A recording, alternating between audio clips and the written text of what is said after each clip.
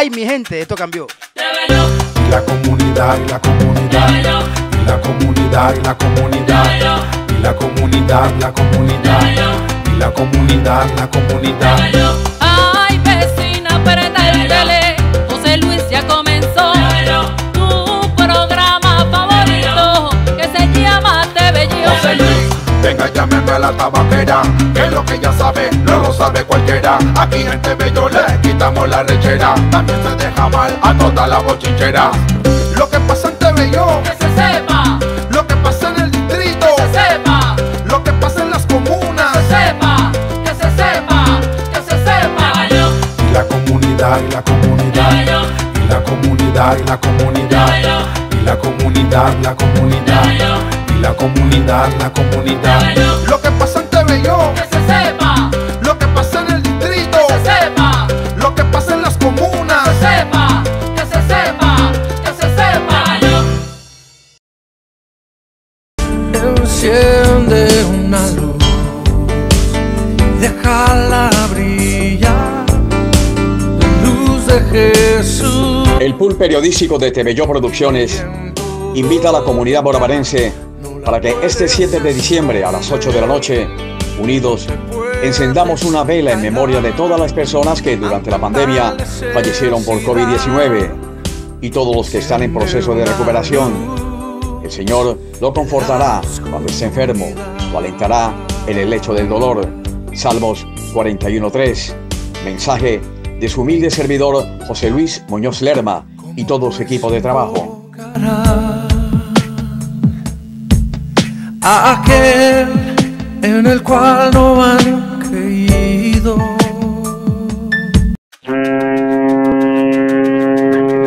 Ay, mi gente, esto cambió. Y la comunidad, y la comunidad, y la comunidad, y la comunidad, y la comunidad, la comunidad.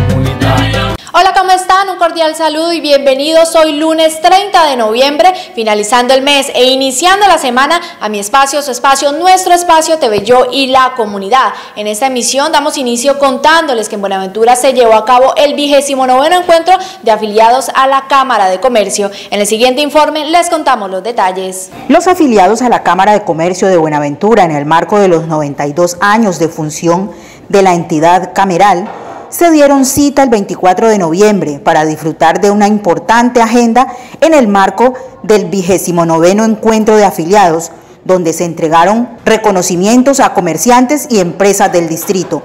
A su vez se contó con la participación del conferencista Alexander Riascos Caicedo, quien expuso el tema habilidades y estrategias para la reactivación económica.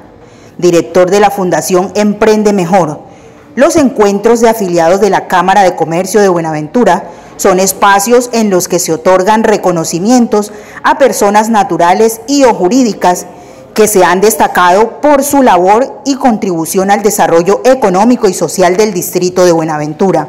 En el marco del evento se hicieron reconocimientos que se hacen mediante la imposición de la medalla a los méritos comercial, industrial y de servicio o cívico. El encuentro de afiliados es un espacio de integración del sector empresarial de Buenaventura en el que buscamos exaltar empresarios y comerciantes que han contribuido a la generación de empleo y al desarrollo de Buenaventura por muchísimos años. El encuentro de afiliados nos permite exaltar y reconocer a las personas que con liderazgo, persistencia han contribuido a una mejor economía en Buenaventura, a que más familias tengan ingresos, a que se genere empleo en la ciudad y nos permite también que nuevas generaciones quieran emprender, que nuevas generaciones quieran ser empresarios para desarrollar nuestro territorio de manera incluyente y con oportunidades para nuestra comunidad.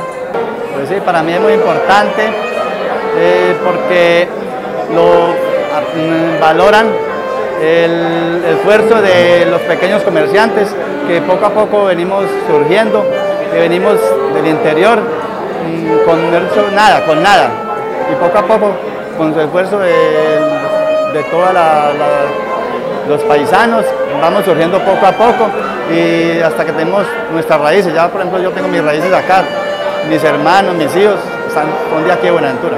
Pues me siento muy halagado porque la labor de todo, prácticamente toda una vida, lo- reconocimiento de todos mis compañeros, especialmente del comercio de San Andresito.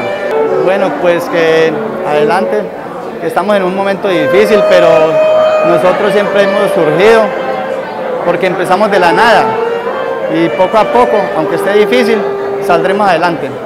Bueno, prácticamente el premio es de mi esposa, ¿no? Ella es la representante legal de la empresa, del Centro de Enseñanza Automovilística El Angelor. Y para nosotros es importante porque aunque uno no trabaja porque le den premios, uno trabaja porque le nace trabajar por la comunidad, porque le nace hacer algo por la sociedad. Pero para nosotros es importante porque por fin en 32 años que llevamos vinculados a la educación vial, formando conductores en Buenaventura, pues se nos reconoce el trabajo que hemos hecho. Todo, por la vida, por todo, por haber nacido aquí en Buenaventura. Y este proyecto con el que somos galardonados se llama Crea Sonido, un proyecto para músicos, para emprendimiento de músicos. Eh, se pueden inscribir en la página creasonidos.com y los invitamos a todos los músicos de Buenaventura a inscribirse. Es un proyecto muy sano, muy bonito para los músicos y esperamos que a partir de allí puedan emprender y crecer eh, cada uno con su proyecto musical, como lo hemos hecho todos los músicos del mundo. Hecho Keep Town, hecho Herencia de Timbiquí, Yuri Buenaventura. Eh, empezamos con un álbum y así, así se arranca, así se arranca. Y a continuación les presentamos las gestiones que están siendo adelantadas desde la campaña Maderotón por una vivienda digna 2020. El proyecto Maderotón nace de la intención de hacer un aporte significativo en uno de los derechos fundamentales de los colombianos, el derecho a una vivienda digna. Hoy en su cuarta versión, adoptamos el componente ambiental, puesto que la afectación del mal manejo de los residuos sólidos en nuestro distrito es un tema muy delicado. En Buenaventura, se producen 195 toneladas de residuos sólidos cada 24 horas, los cuales se disponen finalmente en el vertedero, ubicado en el corregimiento de Córdoba. Sin embargo, muchos de estos residuos, que no alcanzan a ser gestionados de la mejor manera, son depositados en las fuentes hídricas de la zona de baja mar, dando un impacto negativo sobre el ambiente circundante generándose más de 80 puntos críticos de disposición inadecuada de residuos, lo que afecta a la calidad ambiental en el distrito de Buenaventura. Con este panorama, se le suma la falta de cultura ciudadana en materia ambiental, que juega un papel importante a la hora de garantizar la limpieza de nuestras playas, ríos y calles, debido a los pocos procesos que generen un cambio de actitud y por ende una valoración del territorio. El manejo de las basuras, es crucial para la protección de las fuentes de agua, para el equilibrio ambiental de las ciudades. Es necesario transformar las costumbres de la población respecto a la clasificación y disposición adecuada de los residuos, como el fomento de acciones de reciclaje en el territorio para mantener un ambiente circundante limpio. El proyecto Maderotón 2020, en su cuarta versión, Madera Plástica, le apuntó a la generación de la conciencia a través de jornadas de sensibilización ambiental en las dos localidades del distrito, un acompañamiento en el proceso de la separación de los residuos. Resultado de esto fueron 8.5 toneladas de residuos aprovechables que se lograron obtener de esta actividad. Estos residuos están siendo entregados como cuota inicial para la elaboración de las viviendas en madera plástica y así poder beneficiar a 10 familias de muy bajos recursos que hoy no cuentan con una vivienda digna para vivir. Estas viviendas tienen un espacio de 55 metros cuadrados, se entregan con baño, puertas, lavaplatos, ventanas, dos alcobas, sala comedor y patio listas para ser habitadas. De esta forma, la Maderotón 2020 está aportando al medio ambiente y a una necesidad sentida habitacional. Bueno, señores, estamos acá en el barrio Carlos Holmes Trujillo, en el terreno, en el lote de Doña Delia. Bueno, como ustedes pueden ver, ya realizamos la fundición de esta losa, que nos llevó muchas dificultades, tales como derrumbes de terreno, ya que nosotros hicimos, tuvimos que hacer un relleno para nivelar, para nivelación de terreno, para llegar a, los rellenos y hacer la, el, pilotaje que es el pilotaje que se requiere para hacer la fundición. Tuvimos dificultades con el clima, ya que el clima nos jugó una mala pasada llevándosenos el relleno que teníamos hecho. Tuvimos que hacer, tuvimos que llegar a la roca para hacer unas, unas zapatas y hacer un muro de contención en la parte trasera del terreno, ya que eso es lo que nos tiene ahora sostenido ya la losa fundida. Entonces, como pueden ver, ya terminamos fuera de todas esas dificultades, pero ya estamos listos para subir muros en esta vivienda de Doña Delia. No olviden que somos parte de la solución y no el problema. Fundación PSP. Estas son las cosas, como lo acaba de decir el arquitecto, que hay que agradecerle primero a Dios y no al hombre. Estas son las sonrisas que hay que sacarle a todas esas mujeres que están pasando trabajo por tener un hogar, por tener una vivienda digna. Empezamos con esta losa. En 10 días estaremos ya inaugurando la vivienda de Doña Delia, que como ustedes los miran en los videos era de barro, era en mal estado, donde algunos vecinos la criticaban por vivir en las condiciones. Pero hoy va a ser una de las mejores mujeres en este momento de tener una casa inteligente, una casa ecológica y una casa saludable, una casa que dura más de 500 años. Esto es amor y trabajar por la gente que de verdad necesita. Somos parte de la solución, más no el problema. Buenas tardes, estoy muy agradecida por que ya se me realizó la, toma de la, de la, de la losa y que a todas las personas que han colaborado, a los arquitectos, a los ingenieros, a los ayudantes, a los muchachos que me han trabajado, que muchas gracias, que estoy feliz, feliz, no sé por la felicidad y que Dios sabe que estoy de corazón muy agradecida con todas las personas que colaboraron, siguen colaborando por el bienestar de los demás.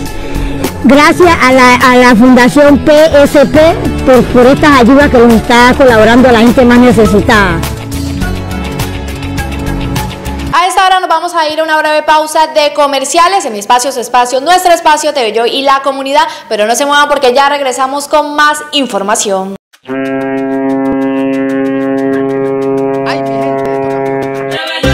La comunidad, la comunidad, la comunidad, la comunidad, la comunidad, la comunidad. Y a esta hora más información de Yo y la comunidad les presentamos el informativo de la Gobernación del Valle.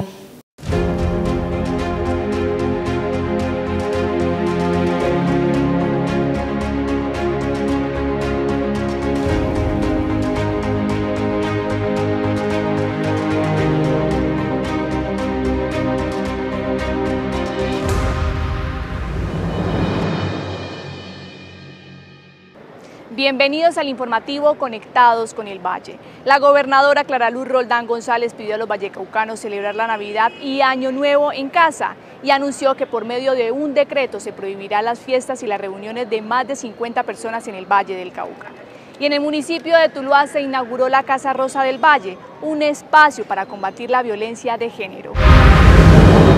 La gobernadora del Valle, Clara Luz Roldán, anunció que las fiestas y reuniones de más de 50 personas quedarán prohibidas por decreto en el Valle del Cauca durante la temporada decembrina. La decisión se toma, según la mandataria, debido al aumento paulatino de contagios de COVID-19 y la ocupación de camas de cuidados intensivos en el departamento. El tema de la pandemia está incrementándose cada vez más.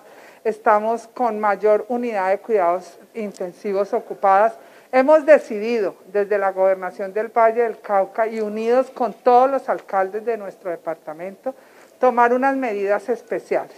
Para diciembre vamos a sacar un decreto en el que van a quedar prohibidas las fiestas de fin de año con más de 50 personas en tanto instituciones públicas como privadas. La restricción, explicó la gobernadora, también aplicará para eventos deportivos y culturales. Las novenas que se hacen en diciembre no pueden haber y tienen que ser en espacios abiertos. No podemos estar, eh, hacer eventos eh, culturales ni deportivos que aglomeren personas. Desde el punto de vista de crear conciencia personal, que cada uno, que cada uno entendamos que de nosotros depende que nuestras familias estén bien, nuestros padres, nuestros hijos, nuestros abuelos. La mandataria también hizo un llamado al sector comercio para que adopte estrategias para evitar aglomeraciones durante el mes de diciembre. A los establecimientos comerciales, amplíen sus horarios para que la gente no se aglomere y no esté en los horarios de 7 a 9 o 10 de la noche, ampliemos los horarios, 12, 1 de la mañana. Busquemos la forma en que cada uno demos un paso hacia adelante frente a protegernos ante esta pandemia como lo hemos hecho hasta ahora. El decreto de restricción de fiestas y reuniones de más de 50 personas se emitirá en diciembre. El llamado es a los vallecaucanos para que celebren Navidad y Año Nuevo en casa.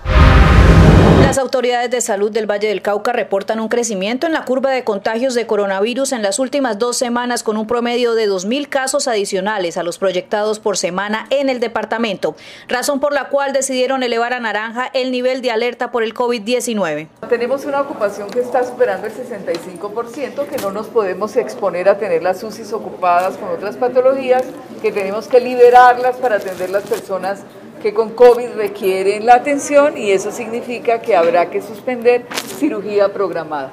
De acuerdo con la doctora Lesme, los incrementos se han registrado principalmente en Palmira, Buga, Tuluá, Jamundí, Cartago y Yumbo. Ya somos el 20% de los casos en el departamento y es indispensable las medidas de responsabilidad que como el alcalde de Cali se tomaron, se hagan en el resto del departamento. La gobernadora nos va a facilitar este camino con un decreto departamental. En concordancia con la decisión en las últimas horas de la gobernadora Clara Luz Roldán, quien en consenso con los alcaldes expedirá un decreto en el que se prohíben las fiestas y reuniones con más de 50 personas, insta a los ciudadanos a celebrar en casa, guardando las medidas de autocuidado.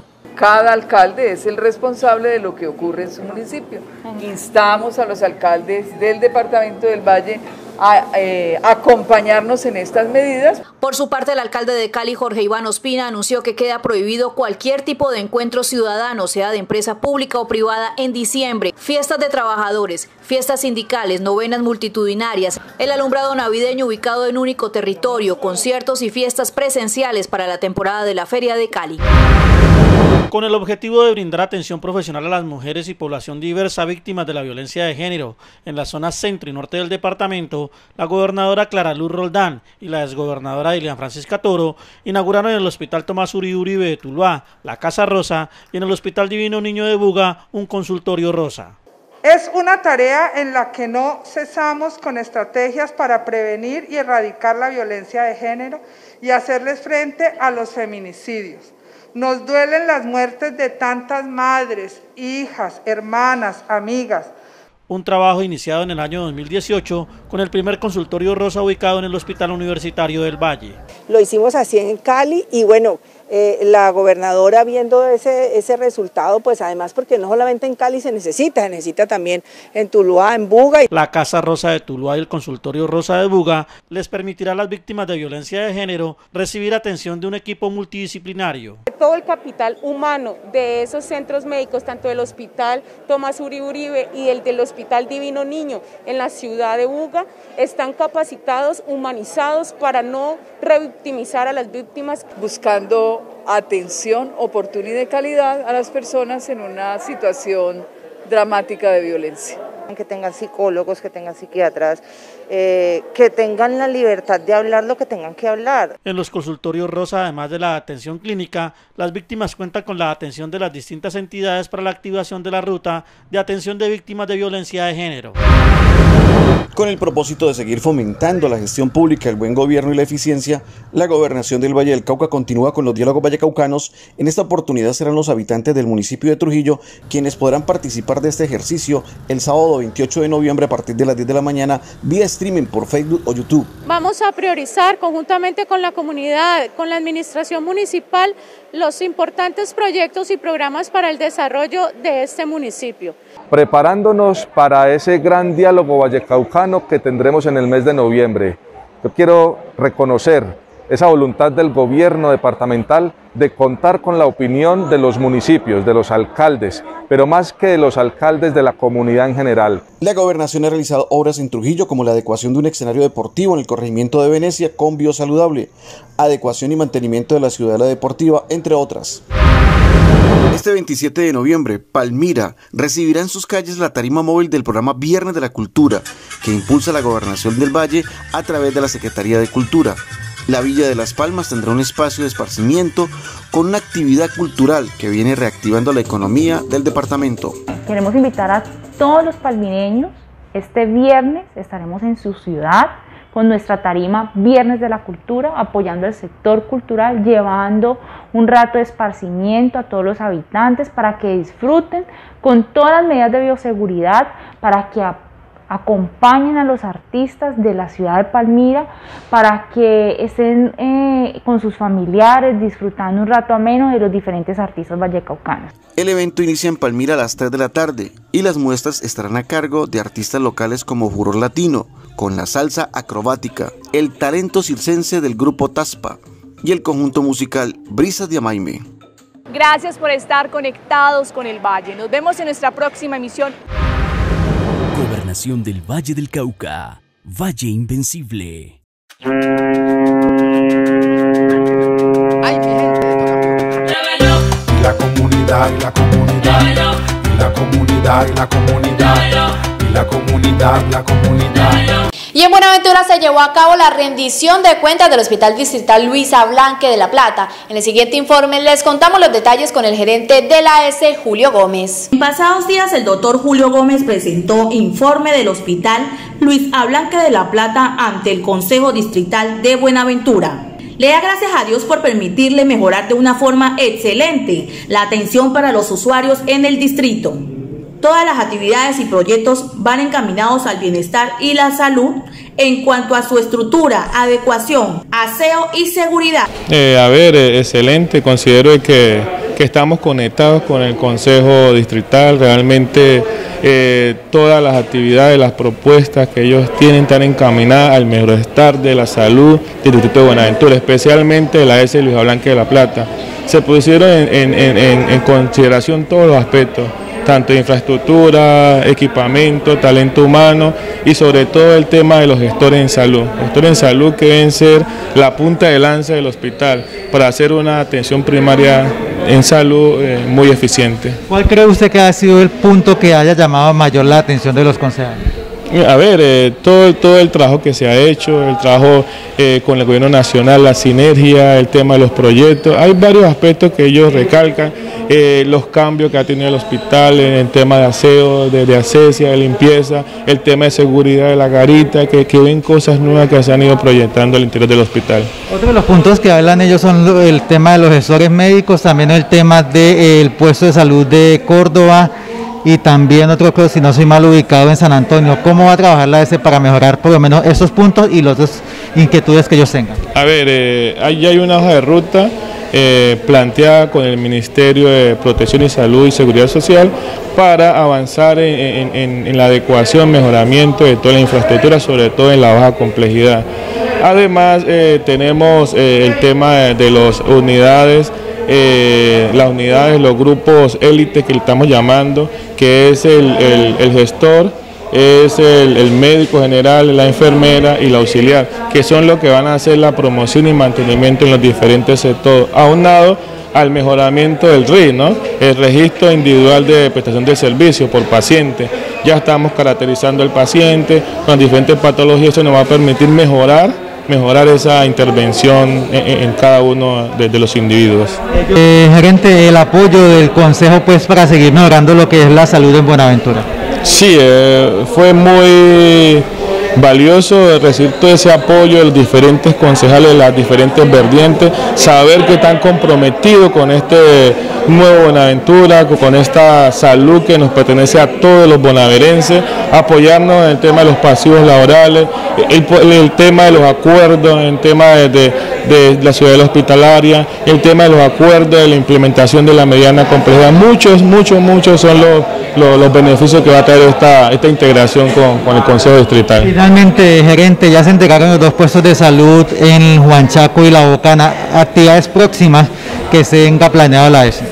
Inauguración del puesto de salud de Puente Soldado, Bajo Calima, Villa Estela y, y Zabaleta. Esa es nuestra próxima actividad que vamos a realizar y, y presentar el proyecto de centro materno infantil que nos va a hacer el, el, el, el, trampolín para evitar y mitigar la mortalidad materna en Buenaventura. Es un proyecto estratégico que nos permitirá seguir adelante en todos los temas de dignificar la salud de nuestra gente del Pacífico colombiano. Nilson García, concejal, mira los avances que se han propuesto para el mejoramiento de salud en Buenaventura y deja un grado de satisfacción. Gracias al apoyo del Consejo Distrital, fue muy valioso saber que están comprometidos con su distrito especial.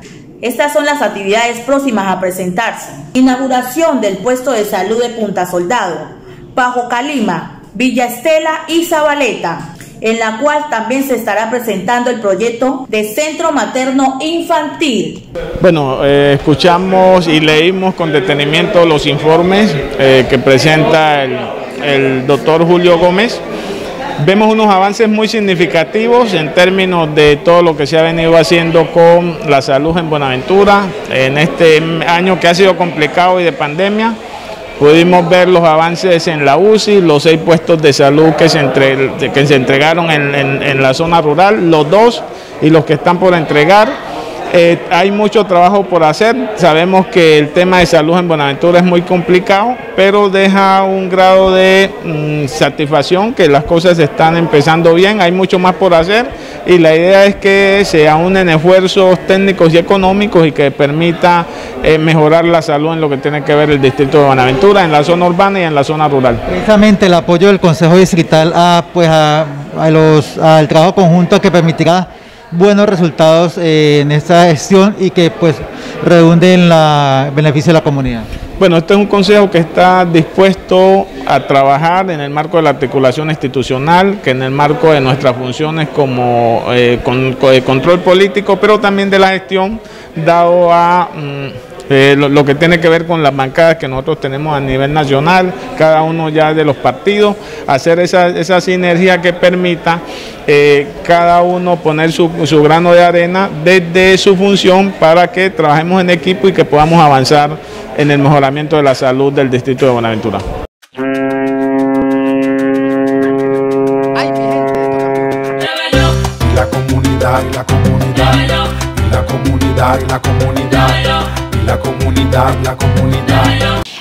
Toda la información por hoy en mi espacio, su espacio, nuestro espacio TV Yo y la comunidad. Recuerde que mañana nos estaremos encontrando con más información y hechos de interés.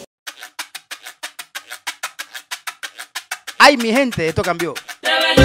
La comunidad, la comunidad, la comunidad, la comunidad, la comunidad, la comunidad, la comunidad, la comunidad.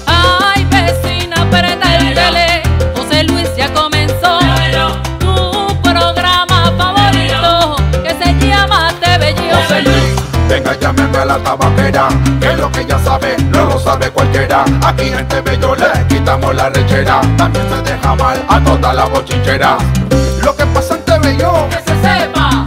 Lo que pasa en el distrito, que se sepa. Lo que pasa en las comunas, que se sepa, que se sepa, que se sepa. La comunidad y la comunidad, y la comunidad y la comunidad, y la comunidad, la comunidad, y la comunidad, la comunidad. Lo que pasa en TV Yo.